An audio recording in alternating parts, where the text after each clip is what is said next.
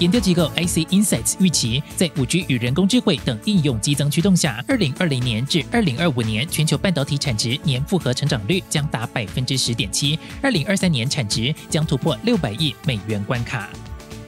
法国央行总裁，同时也是欧洲央行管理委员会成员的戴家佑警告，中共开发数位人民币进展快速，欧元要维护国际角色将面临关键风险。日本金融厅前长官原藤俊一也表示，中国在发行数位货币的进展将对发达经济体产生巨大影响。美国太空公司 SpaceX 创办人马斯克周二说，全球无死角高速网络服务星链已开始启用，他估计一年内用户可达到五十万人。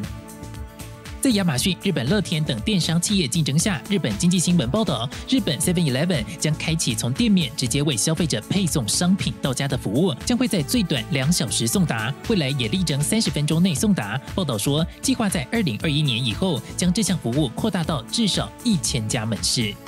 新唐人亚的电视整理报道。